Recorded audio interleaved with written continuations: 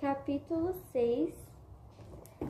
É, o início desse capítulo eu não achei tão interessante quanto o final, então eu vou começar mais ou menos por ele. Aqui eles falam de uma tradução da tradução passada de, de que eles tinham visto, e eu vou ler, ó. Sim, um monte que, que parece avançar sobre o mar. Muito bem, esse é os Sneffels, não sei falar muito bem. Aqui, ó. Essa palavra aqui. O Sneffels, ele mesmo, uma montanha com 1.650 metros de altura, uma das mais notáveis da ilha e com certeza a mais célebre do mundo inteiro. Se sua cratera levar ao centro do globo. Mas isso é impossível, exclamei, levantando os ombros e revoltado contra semelhante suposição. Impossível, respondeu o prof. Linderbrock, com um tom severo.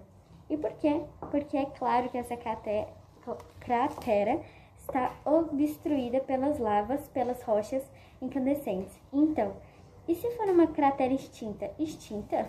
Sim, os vulcões em atividades na superfície do globo atualmente são apenas uns 300, uns 300.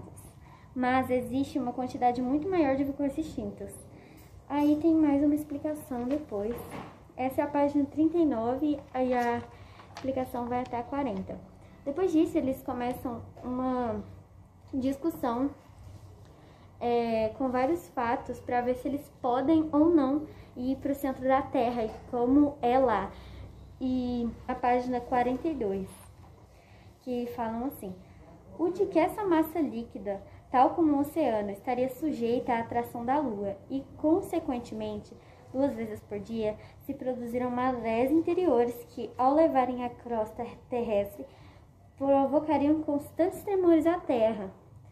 E aí, eu recomendo vocês lerem a partir dessa parte aqui, da página 42, até a página 44, que é onde encerra o capítulo. Depois da discussão, ele fala assim: É, apesar de tudo, isso é impossível sim.